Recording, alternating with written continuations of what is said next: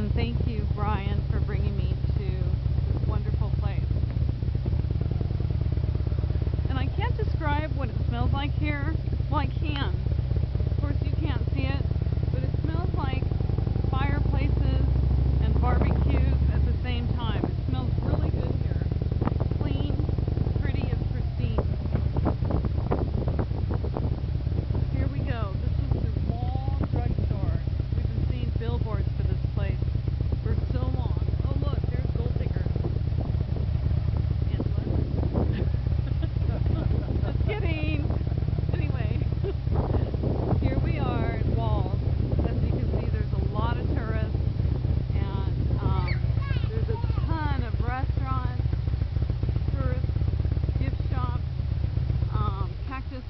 Cafe Lounge.